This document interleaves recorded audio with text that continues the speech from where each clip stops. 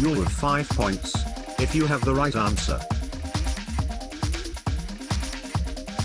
You'll have 50 points, if you have the right answer. You'll have 25 points, if you have the right answer. You'll have 20 points, if you have the right answer. Congratulations. You'll have one more time to spin if you have the right answer.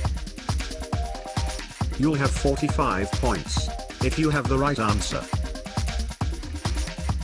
You'll have 30 points, if you have the right answer. You'll have 10 points, if you have the right answer.